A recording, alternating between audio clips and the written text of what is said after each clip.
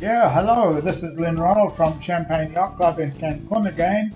Just letting you know that we've got some empty legs available all over the world. For those of you who don't know what empty legs are, these are the return flights from planes that have been booked by us before and gone to different parts of the world and they've got vacant spaces to come back.